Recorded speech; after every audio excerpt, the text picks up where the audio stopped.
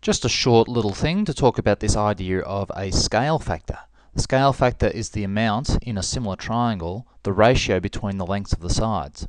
So these triangles are similar. You can tell that uh, that these angles are the same and uh, those angles are the same and these angles are the same. So and then in the similar triangles the ratio between the side lengths is always the same. So this angle this this side and this side have a, ratio of 2, this side and this side have a ratio of 2, and this side and this side have a ratio of 2. So the ratio always 2.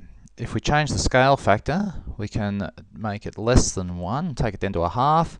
You see the blue triangle, we say it's been scaled down because the scale factor is less than 1. So this new triangle is half as long.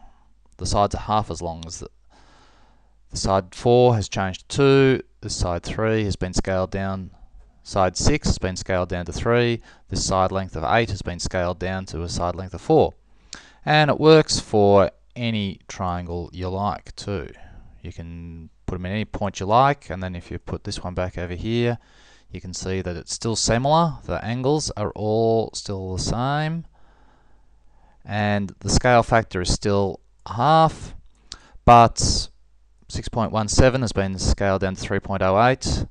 5.76 has been scaled down to 2.88 and 6.49 has been scaled down according to two decimal places to 3.25 and you can always go and set your triangles up so that they've got nice lengths. Draw some guide circles around so you can see that what is happening. But the idea of the scale factor stays the same. 7, 3.5, 8 to 4, and 4 to 2.